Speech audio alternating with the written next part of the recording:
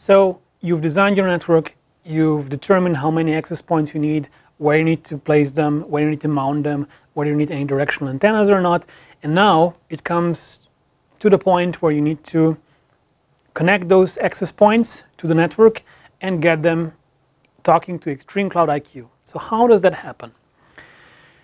Every access point or every Extreme Wireless Cloud access point comes pre-configured with a mechanism that will call to redirector.extremecloudiq.com. So it will invoke a request to that URL and it will introduce itself with its serial number. And then a service called redirector that's part of our private cloud deployment will look at that serial number and match the serial number with the customer it belongs to and redirect it to the correct RDC or regional data center. And within the regional data center, there's an entity called virtual IQ or a virtual Extreme Cloud IQ instance. Um, and that's what the access point or switch or branch router will attach itself to. And that maps it to a customer instance. So the most important here, uh, thing here to remember is when you deploy that access point, it will need to obtain an IP address, preferably for a DHCP service. It will need to have a default gateway configured, again, preferably for a DHCP server, a DNS server configured, preferably through a DHCP server, although we do use our own public DNS service as a fallback. And from a firewall perspective, it will need to be able to talk um, through CAPWAP, a protocol we use for communication between the device and Extreme Cloud IQ, or as a fallback scenario, HTTP protocol. So the devices either use CAPWAP, uh, control and provision of, of wireless access points portfolio, uh, protocol to talk to Extreme Cloud IQ, or they fall back to HTTP uh, as a protocol of last resort. Uh, and it all happens out of the box. So all of the devices come pre-configured with that mechanism. So uh, when you plug them in, they will, as long as they get an IP address, a default gateway, and a DNS server, they will then try to contact redirector.extremecloudiq.com. And it's up to you to then enter the serial numbers of those APs into your Extreme Cloud IQ account. And if that happens, then the redirector will show the access points where to go, which is your closest RDC. And within that RDC, the access points will attach themselves to the virtual IQ instance. And that is how you get access points to your Extreme Cloud IQ instance. And that's how you get access points uh, onboarded onto the Extreme Cloud IQ platform so you can configure them and provision them uh, going forward. Let's look at the redirector workflow in some more detail. So the redirector, the URL or the fully qualified domain name of the redirector is pre-configured in the firmware. You don't have to worry about it. Um, we said that the access point needs to get its IP address from a DHCP server, its default gate from a DHCP server, or and the DNS um, server from the DHCP server as well. Again, this can be manually configured if this is something that you want because each of the access points has a fully blown CLI. But in order to scale, in order to make this as simple as possible, uh, the best practice would be to use DHCP on that management uh, VLAN where you're attaching your access points to. Now, in terms of VLANs, the access points come with the management interface mapped to a native VLAN. So whatever your native VLAN on the switch is, that's going to be your management VLAN for that AP when you plug it in and uh, deploy it to your network until such time as you reconfigure that. But by default, native VLAN matches management VLAN, which is reconfigurable later if that is what you want. So the access point gets its IP settings, starts talking to the redirector, finds out where it needs to go in terms of the RDCs, in terms of the VIQ instances, and then it attaches itself to something we call a CAPWAP server.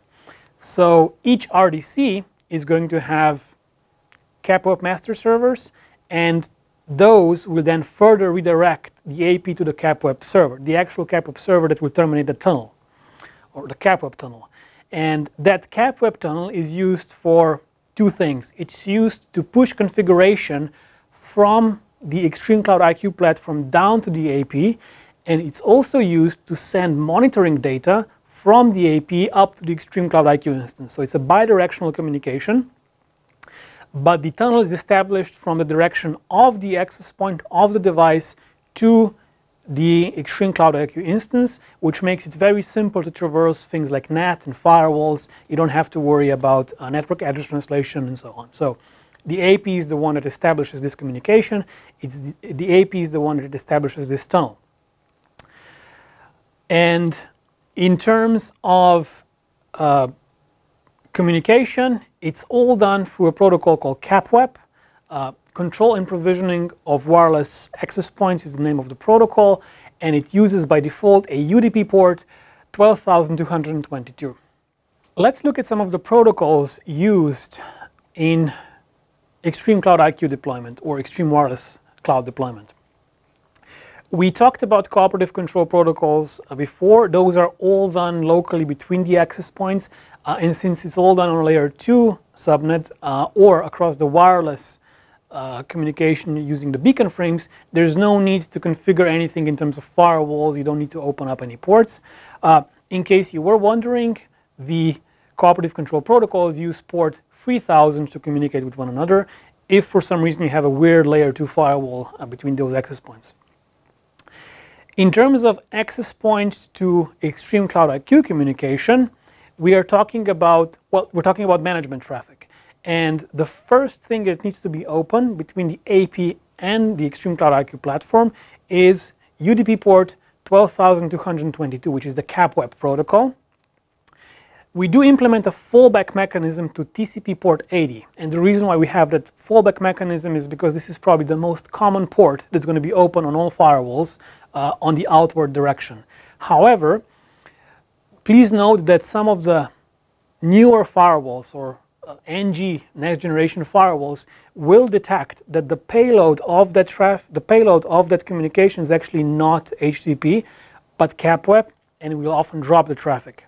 So as a best practice we will always encourage to use the CAPWAP protocol and open the CAPWAP protocol in the outbound direction from the management VLAN of the access points towards Extreme Cloud IQ. If you need to find out the IP addresses of your RDC, those can be found on the uh, Extreme Cloud IQ platform about page. So you'll be able to, within the product, find out the fully qualified domain names uh, that you need to open up on your firewall for communication to your specific RDC instance. The second protocol that needs to be enabled if you're using private pre-shared key solution is called RADSEC, which is basically encrypted radius communication or radius over TLS. That is TCP port 2083, and it's only needed if you implement PPSK with cloud-based authentication. We will talk about that further in the class, um, but just note if you use PPSK with cloud-based credentials, you will need another port, which is RADSEC or TCP 2083. For firmware upgrades and file transfers, you will need port TCP 443, and you will also need this port for switch management because uh, cloud-enabled switches don't support CAPWAP. They use SSL or TCP port 4 143 for communication with Extreme Cloud IQ. They don't use CAPWAP.